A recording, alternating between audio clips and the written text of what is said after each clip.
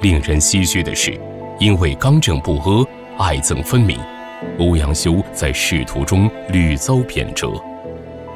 当时，立国七十余年的北宋王朝表面繁荣，但却不思进取，沉溺于现状。年轻的欧阳修支持范仲淹改革，多次受到牵连，先后被贬到夷陵、滁州等地。在这些仕途的逆境中，欧阳修没有忘记自己“文章何为时而著”的创作诉求，写下与高斯谏书、朋党论等文章，直击坚硬，轰动朝野。平时简朴的行文风格，语句轻快畅通，文从字顺。欧阳修逐渐开创一代文风，以文章名冠天下。而他的浩然正气，更是获得天下文人赞誉。